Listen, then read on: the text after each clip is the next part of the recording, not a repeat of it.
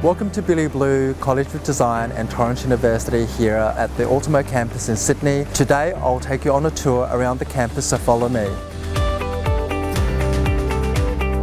So welcome to level one. This floor here is the hub of the campus. You've got your success coaches and student services. We've got a kitchen areas for students to hang out. There's Wi-Fi, there's a cafeteria for students to use. There's a library for students that do actually want to borrow books, but most of our books are all online through the e-library, which is accessible to students through the learning portal.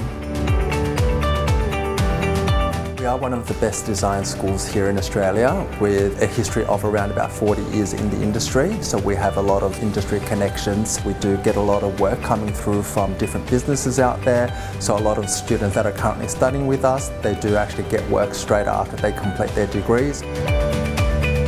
Majority of the spaces upstairs on level two are classrooms, but we also offer a lot of facilities upstairs as well, such as this soundproof room. We offer 3D printing services upstairs, as well as light boxes on this level as well. So in this open plan concept that we have on our campus, we do actually have designated areas for our students. So our tech courses and our interior design courses do actually have their classes upstairs. Final year students do get to present their work. At this whole level gets turned into an exhibition. So all of the students that are doing graphic design, interior design, photo imaging, they do get to present their work to the industry as well as to the general public as well.